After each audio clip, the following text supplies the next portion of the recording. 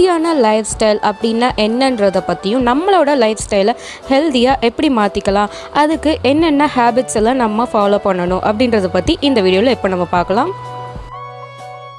முதலாவதாக நம்ம சரி பண்ண வேண்டிய பழக்கம் நம்மளோட தூக்கம் தான் இரவு பத்து மணிலேருந்து காலையில் ஆறு மணி வரைக்கும் நம்மளுக்கு பீஸ்ஃபுல்லான ஒரு ஸ்லீப் இருக்கணும்.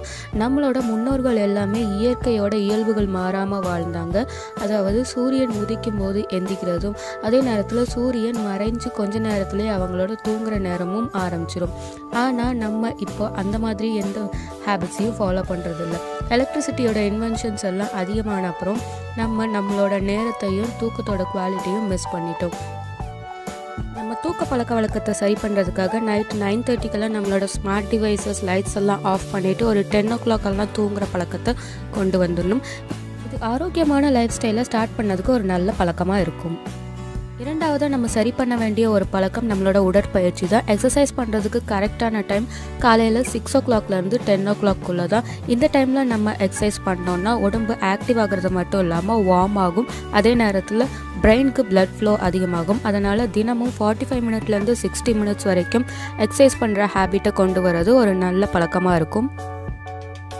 தான் நம்ம மாற்றிக்க வேண்டியது இந்த மாதிரி அன்ஹெல்த்தியான ஸ்நாக்ஸை சாப்பிட்றது தான் நம்ம சாப்பிட்ற சாப்பாடு உடம்புல எனர்ஜியாக கன்வெர்ட் ஆகிறதுக்கு மூணு மணி நேரம் தேவைப்படுது. அதுக்கு இடப்பட்ட நேரத்தில் எதுவும் சாப்பிடாம இருந்தால் தான் நம்மளோட ஃபேட் எல்லாம் பேர்ன் ஆகி எனர்ஜியாக கன்வெர்ட் ஆகும். அதனால் தினமும் மூணு வேளை மட்டும் பேலன்ஸ்டு டயட்டை சாப்பிட்றது கண்டிப்பாக வெயிட் லாஸ் பண்ண நினைக்கிறவங்களுக்கும் டயட் இருக்கவங்களுக்கும் ஒரு நல்ல ஆரோக்கியமான பழக்கமாக இருக்கும்.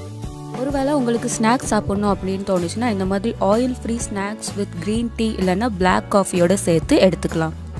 ஒரு முக்கியமான பழக்கம் என்னென்னா நம்மளோட உணவில் டெய்லியும் சிறிதளவு ஆறு சுவைகளையும் சேர்த்துக்கிறது தான் கசப்பான உணவு நம்மளோட பாடியை டீடாக்சிஃபை பண்ணும். உச்சத்துள்ள உணவுகள் எல்லாமே டைஜஷனுக்கும் நியூட்ரியன்ஸை அப்சர்வ் பண்ணதுக்கும் யூஸ்ஃபுல்லாக இருக்கும். புளிப்பு சுவை அதிகமுள்ள உணவுகள் எல்லாமே உடம்பை சுத்திகரிக்கிறதுக்கு உதவும். ஆரமான உணவுகள் எல்லாமே நம்மளோட உடலை சுறுசுறுப்பாக வச்சுருக்கும். இனிப்பான உணவுகள் நம்மளோட உடம்புக்கு எனர்ஜியை கொடுக்கும்.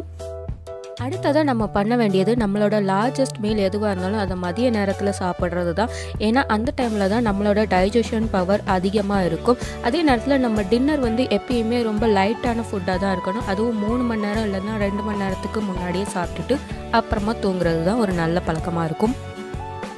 அடுத்ததாக நம்ம கொண்டு வர வேண்டிய ஆரோக்கியமான பழக்கம் ஹாட் வாட்டர் குடிக்கிறது தான் நம்மளை சுற்றி இருக்க பொல்யூஷன்னாலேயும் நம்மளோட ஆரோக்கியம் இல்லாத உணவு பழக்க வழக்கங்களாலேயும் நம்மளோட தினந்தோறும் இருக்கக்கூடிய ஸ்ட்ரெஸ் கோபம் இதனால் ஏற்படக்கூடிய டாக்ஸின்ஸ் எல்லாம் உடம்புக்குள்ளே இருந்து நீக்கிறதுக்கு ஹாட் வாட்டர் ரொம்பவே யூஸ்ஃபுல்லாக இருக்கும். ஒரே நேரத்தில் அதிகமாக தண்ணீர் குடிக்கிறதுக்கு பதிலாக அடிக்கடி கொஞ்சம் கொஞ்சமாக தண்ணீர் குடிக்கிறது நல்லது. அதுவும் நார்மல் வாட்டர் இல்லாமல் ஜிஞ்சர் வாட்டர் இல்லைன்னா ஹெர்பல் வாட்டரை தேர்ட்டி மினிட்ஸ்க்கு ஒன்ஸ் குடிக்கிறது ரொம்ப நல்ல பழக்கமாக இருக்கும். கடைசியாக நம்ம கொண்டு வர வேண்டிய ஒரு ஹெல்தி ஹேபிட் மெடிடேஷன் பண்ணுறது தான் இப்போ இருக்க நிலமையில் ஸ்ட்ரெஸ்ஸும் கோபமும் அதிகமாக இருக்கிறதுனால நம்மளோட வெயிட் லாஸ் எபிலிட்டி கூட குறைஞ்சிக்கிட்டே தான் போகுது. அதனால் மெடிடேஷன் பண்ணுறத ஒரு டெய்லி ஹேபிட்டாக கொண்டு வந்துடணும். மெடிடேஷன் பண்ணும்போது இந்த மாதிரி மியூசிக்லாம் கேட்காம அமைதியாக ஒரு இடத்துல உட்காந்து என்னென்ன எண்ணங்கள் வருதோ எல்லாத்தையுமே பாசிங் க்ளவுட் மாதிரி கடக்க விட்டுணும் அதுவே ஒரு நல்ல மெடிடேஷன் பழக்கமாக இருக்கும். அவ்வளோதாங்க இதுதான் ஆயுர்வேதத்தில் சொல்லப்பட்டிருக்க ஹெல்த்தியான லைஃப் ஸ்டைல் இதை நம்ம கொண்டு வரதுக்கு இந்த மாதிரி சிம்பிளான ஈஸியான ஹேபிட்ஸை மட்டும் மாற்றிக்கிட்டோன்னாவே போதும். நான் என்னோட அடுத்த வீடியோவில் உங்களை வந்து சந்திக்கிறேன். அது வரைக்கும் சிரித்து மகிழுங்கள். சிரிப்பே சிறந்த மருந்து. வணக்கம்.